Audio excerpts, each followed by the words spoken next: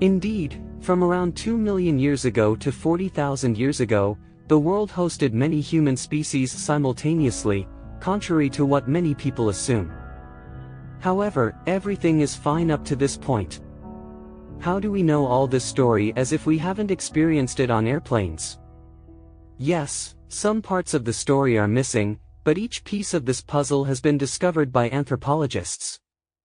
We rely on fossils, radiometric dating performed on these fossils, and genetic analyses.